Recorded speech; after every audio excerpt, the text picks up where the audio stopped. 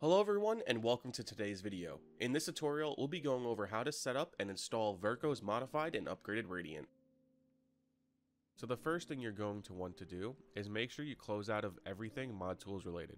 Launcher, Ape, Radiant, anything. Next, we're going to download VK Radiant from DevRaw. You can find the link in the description below. Once opened, you will see that we have a standard, ultra dark, and a readme text. Next, let's go to our Black Ops 3 root folder. From here, you're going to want to choose which Radiant version you want, either standard or ultra dark.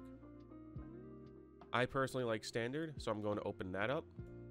And we're going to select all the folders here and just drag them into our root. This window will pop up asking if we want to replace the files. Make sure to do it. Next, let's open Launcher. Once we're in Launcher, let's open up Radiant, and we're going to also open up Ape to see everything that has changed. The biggest thing that was changed in Ape was just the surface type and materials. When creating new materials, if you come up to here, you'll always see that the original default surface material type is error. That is no longer the case, it is now defaulted to none, and you will no longer get errors if you set up materials incorrectly. Now we're in Radiant. First, let's look at the world spawn. To get this, just click N on your keyboard to bring up the entity info without anything selected. You can see here that we have rope material under entity. This is your common default rope material when setting up rope entities. In grading, we now have a drop down for LUT materials.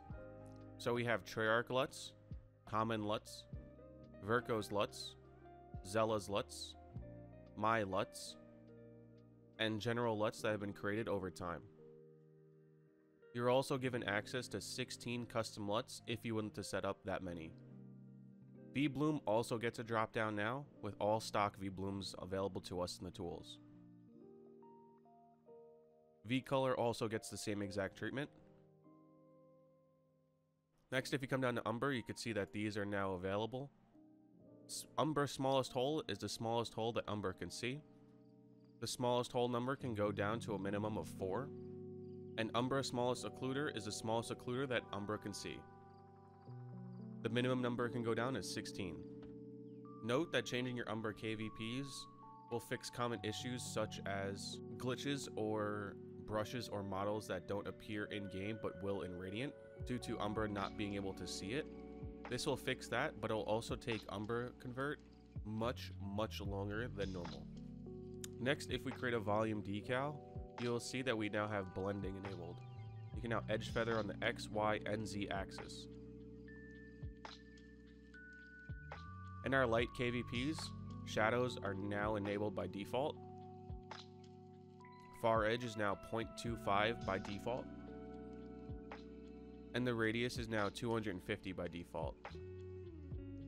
If we create a reflection probe, our resolution can now go up to 16x. And that's pretty much the general basis of VK Radiant.